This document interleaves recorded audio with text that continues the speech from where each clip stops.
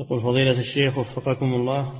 يقول أخبرني أحد المتصوفة أن الشرك لا يقع في الأمة الإسلامية. ما شاء الله. لقول النبي صلى الله عليه وسلم إن الشيطان قد يئس أن يعبده المصلون في جزيرة العرب. ما في الحديث أنه ما يقع الشرك. فيه أن الشيطان يئس.